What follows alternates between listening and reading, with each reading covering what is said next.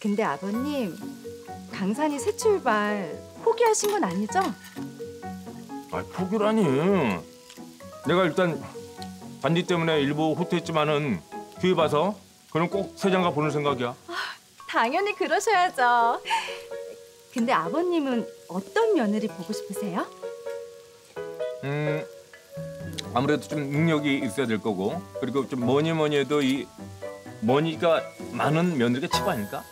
아이, 아버님 이번에는 뭐니 뭐니 해도 안 도망가고 강산이랑 백년해로 할 배필을 고르셔야죠.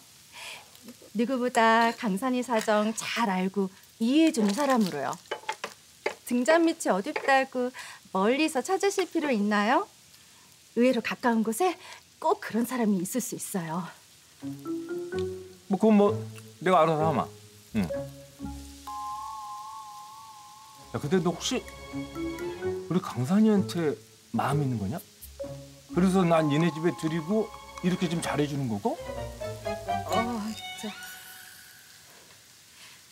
네, 그래요, 아버님. 저 강산이 좋아해요. 미쳤어 누나? 저 아버님, 네, 아버님 저는 며느리감으로 어떠세요? 뭐 글쎄다. 난 지난번 말씀했던 화진 씨를 강산이 짝으로 다시 이렇게 붙여주면 어떤가 싶은데. 와 들었지 누나? 뭐 보니까 강산이는 그 여자 질색 팔색 하던 눈치던데. 아버님, 저도 강산이 짝 후보생으로 한번 생각해 주세요. 후 후보생? 네, 아버님.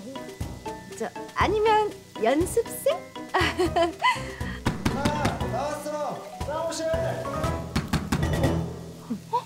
강산이 목소리 같은데요?